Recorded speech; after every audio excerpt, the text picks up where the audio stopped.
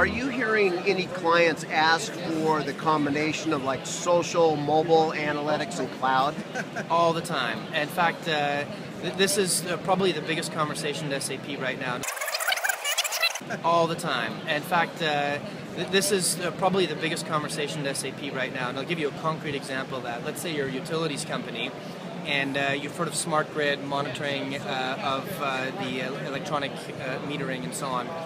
Um, well, you're getting data from a million different data points, and you're going to need HANA or a fast way to process that information in real time. You need to put the information in the cloud so that you can access it anywhere. Mm-hmm. Um, but unless you actually uh, put business analytics on top of that so you can make sense of the data and ultimately present it on a mobile device so you can take real time action for it, uh, you've really got a partial solution. So that, if you like, confluence of all the components SAP brings to bear, and certainly customers are thinking about, really means that uh, a mobility strategy these days is no longer just a mobility strategy. It's it's really a far more comprehensive way that companies are looking at this space. As you see, we have three main pillars in our technology portfolio: mobile, cloud, and in-memory HANA. And you saw Vishal yesterday talking about the convergence of those three technologies together. And I personally, as we discussed before, I see fast convergence between mobile and memory solutions in a cloud infrastructure.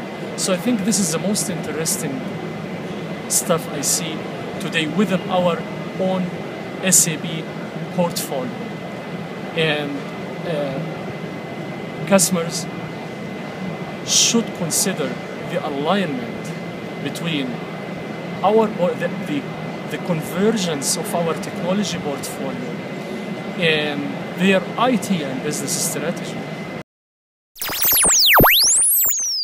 How are you seeing social solutions used within the enterprise at SAP? Yeah, I think first of all, uh, another confirmation that those mega trends like social, big data, analytics, and then memory cannot be uh, seen in an isolated way. Um, for me, is another the example here is analytics combined with social. If you look at um, our BusinessObjects mobile BI solution, there is already integration into Streamworks.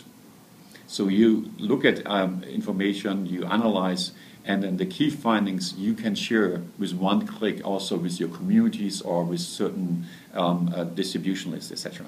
So if somebody asks you to put an ROI or justification for enterprise social solutions, mm-hmm. where would you find that? Where would you even start looking for the justification for that? I think, um, and I, I, you know, I can already um, share my experiences, uh, you, you, getting aware of what about certain topics that people are working on, and inject yourself that you couldn't do before because mm-hmm. the point-to-point communication over email doesn't allow you to understand what's going on in your ecosystem. You work in, uh, with the HANA platform team. Yes. And sentiment analysis the ability to look at what the world is saying about you, your products, your services, your company in real time and do something with that. Does HANA play a role there? Absolutely, uh, Kevin. Uh, HANA plays a very big role there. As you know, uh, the sentiment that we uh, uh, try to measure in the marketplace comes from a lot of social media channels. And the data that is involved here comes from a very, very wide variety of sources. We're talking unstructured data, we're talking text, we're talking video, we're talking streaming events. All of these, if properly analyzed, go towards uh, measuring the sentiment that is out there about a certain product, about a company, about a process, about an event, and so forth. And more and more companies that touch the end consumer are very concerned about how to measure it, how to manage it, and how to monitor it. So, to that end, HANA is a very, very big um, help to them because if you think about it, it's the variety of data, the volume of data, and the velocity, all of which HANA handles very well. And HANA, let's, uh, be, uh, let's be clear, is not just a database. It is way beyond that. With its processing power and its ability to do some heavy-duty crunching, it is able to deliver in true real-time uh, results that help companies manage, manage and monitor sentiment about them. how do you see mobility and analytics working hand in hand, or do you? I do. So one of the things that we see today with business analytics, I mean business intelligence, Kevin, is that IT is struggling tremendously with user adoption. And when I say user adoption, I mean projects are, are being completed, but business users, the user adoption rate is literally tanking. And one of the things that I see is because of the accessibility and the ease of accessibility of mobility, if IT embraces it more, I think that they'll see a spike in user adoption. Wow. So where do you see business processes being re-engineered and change because of accessibility now? So I think that first of all, the go-to-market, right? So a lot of times when we think about desktop, we just meeting with Sanjay Poonen and this topic came up. When we think about desktop, there is so much more flexibility in terms of building these massive systems. The beauty about the mobility, whether it's your tablet, your seven-inch screen, or your three-inch screen, is that you so have to confine your message on what you're delivering. It helps to simplify the process. So you were sharing with me just a moment ago this whole idea of the platform in the cloud, Afaria in the cloud. Tell me what's coming down the road here. So we just announced Afaria in the cloud.